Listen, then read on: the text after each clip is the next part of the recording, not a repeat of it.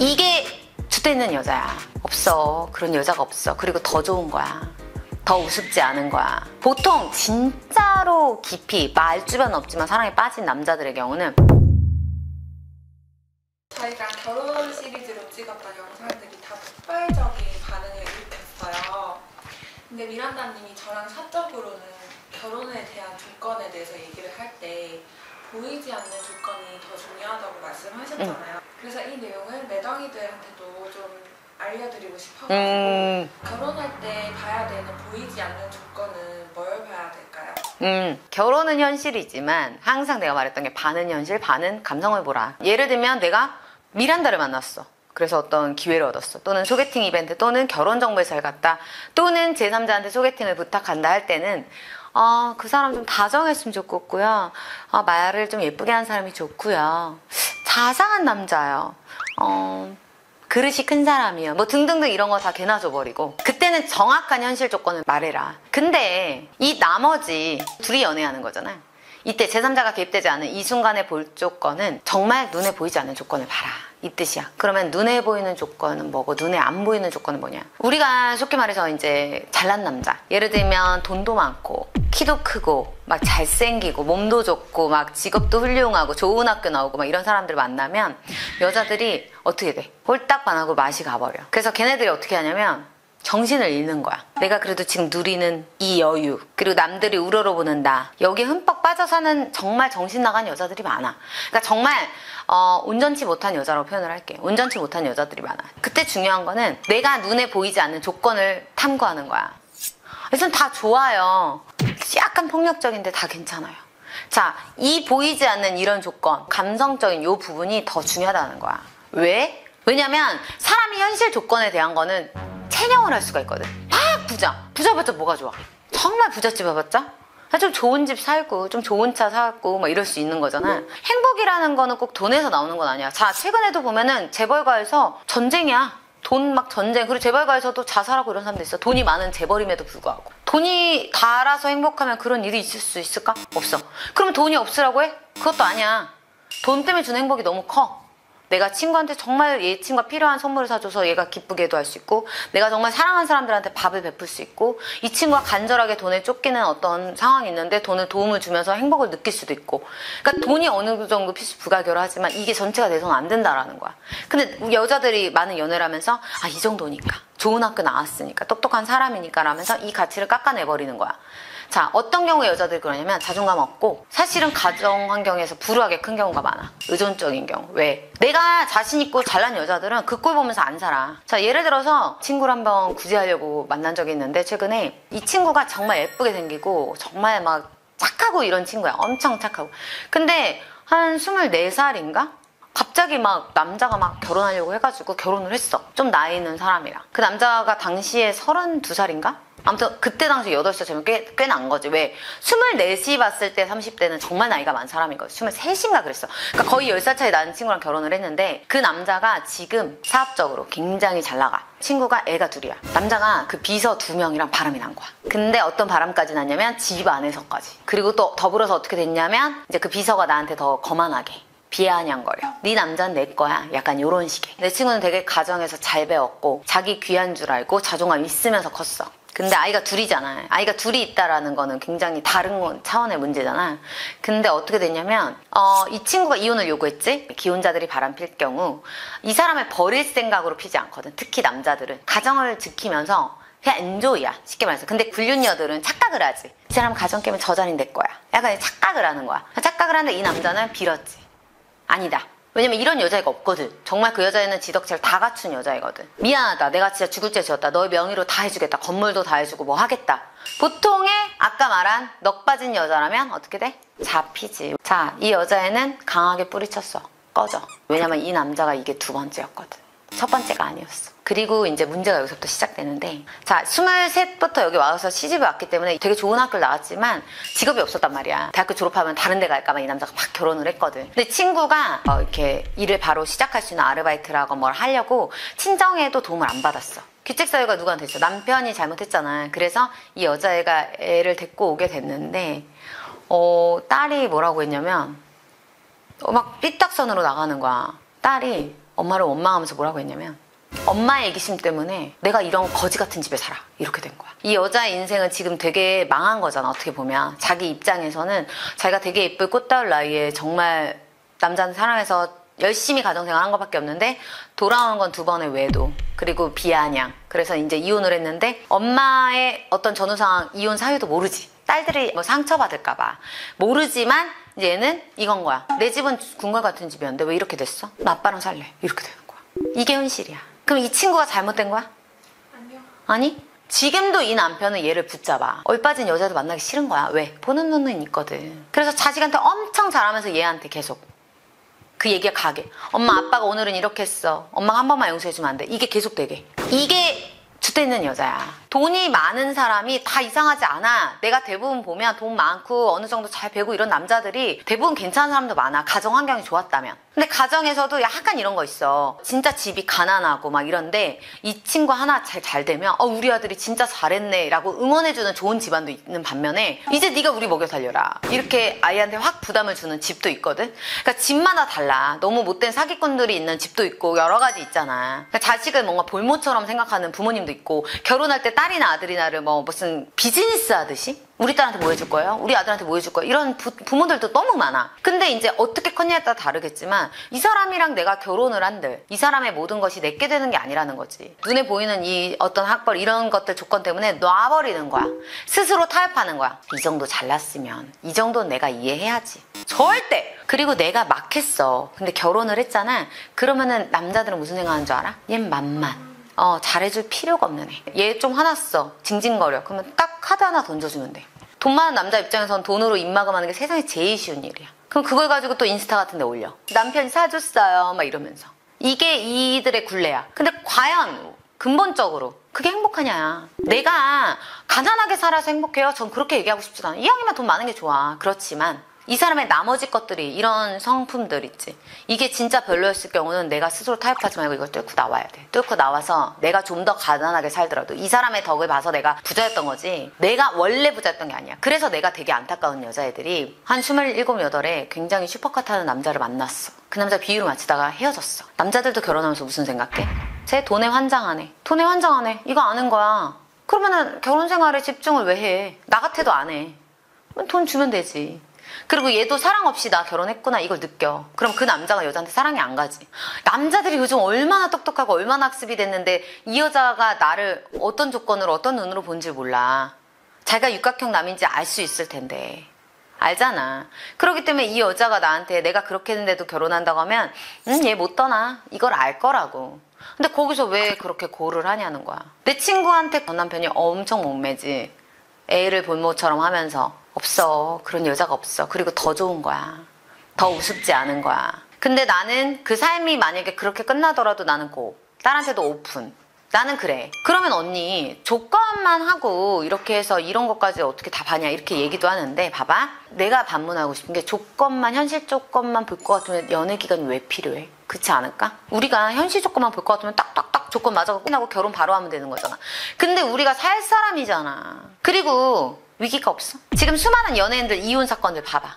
지금 요즘 굉장히 핫하지. 너무 잘 살고 있었던 부부들이 다 이혼이야. 자식들도 막 두 명, 세 명까지도 있어. 왜 이혼할까? 그들은 얼마나 고민을 많이 했을까? 그러면 연애는 오죽 덜 할 거 아니야. 결혼의 그 깊이보다 연애 때 헤어지는 건 아무리 슬퍼 뒤집어지게 슬퍼도 이거에 비할 바는 아니잖아. 모두 앞에서 막 결혼을 했는데 그럼에도 불구하고 다시 돌아간 사람은 돌아가. 왜? 뒤늦게라도 나의 정신을 차리는 거야. 그래서 여기서 또 추가적으로 얘기해 주고 싶은 게 이거 정말 귀담아 들어야 되는데 말만 하는 남자 무시해라. 내가 여러 가지 비즈니스 차원에서 나 사업을 하는 거에서도 그렇고 내가 사람 인간관계에서도 정말 강연할 때 얘기하는 건데 정말 입이 산 애들 있어. 자, 나도 말 진짜 잘하잖아. 말 주변 이라고 하지. 입만 산 남자들한테 당한 여자들이 대부분이야. 말은 예쁘게 하는 남자를 만나되 말을 잘할 필요는 없다. 이렇게 얘기해야 돼. 이 사람이 나한테 뭐 강연에서 스피치 할 거야? 뭐 할 거야? 아니잖아. 뭐 세일즈야? 아니잖아.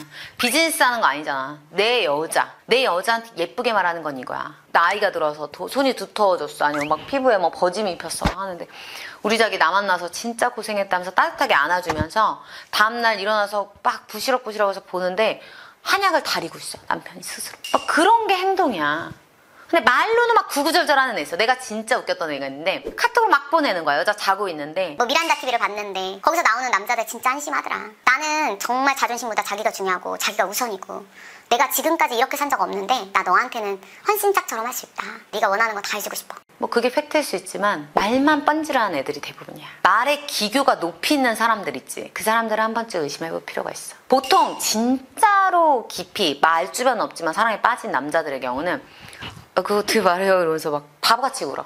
그러니까 많은 여자들이 어떻게 돼? 아우 답답해. 아우 재미없어. 아 뭐야. 아우 저 남자 진짜 센스 있고 말 잘해. 훅훅훅훅 그래서 많은 애들이 뭐야 우리 매덩이들 언니 나쁜 남자 어떻게 걸러요 이거잖아 그러면서 너네 또 만나면 얘한테 또 훅 빠질걸 나 이거 얘기하는 거야 그 명확한 패턴이 나는 보이거든 재미는 나도 추구해 근데 다소 재미없을지언정 그 사람의 진정성을 보고 그 사람의 행동을 보라 그리고 이건 결혼에서는 더 발휘된다 그냥 내 행 동으로 연애에서 사랑을 느끼게 해주면 되거든? 대부분 여자분들이 반성해야 될 게 이거야. 여자 매덩이들. 다 사연 뭐야?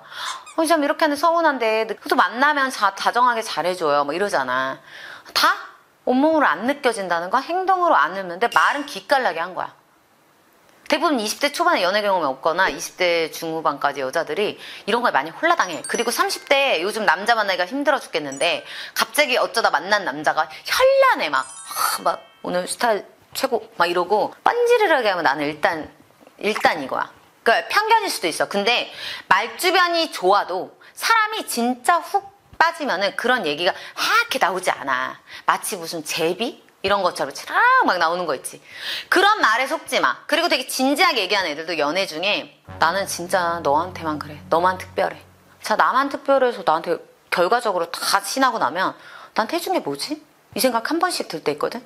생각보다 입만 뻔지르르하게 하는 애들 많아. 아, 내 친구가 2년을 사귀었어.